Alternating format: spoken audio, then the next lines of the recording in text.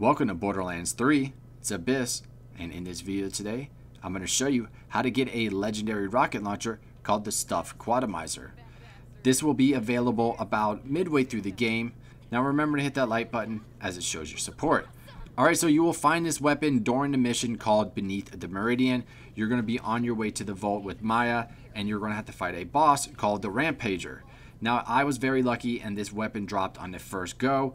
I don't know if that'll be the case for everyone, but if the weapon doesn't drop, then you need to go to the menu, quit game, and then restart the game and try it again. This boss fight wasn't that bad at all, but I'm going to cut the clip down and show you just the last part of the boss fight. This rocket launcher is definitely worth trying to farm if you do not get it on the first try. Every rocket launcher that I found up till now were just weren't that great, but this one right here is definitely worth farming, so I highly recommend that you get it.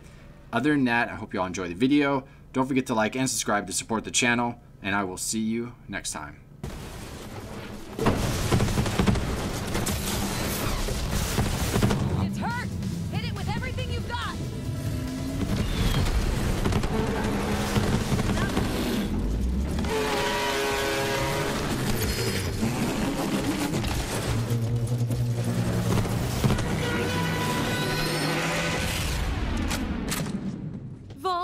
Hunted.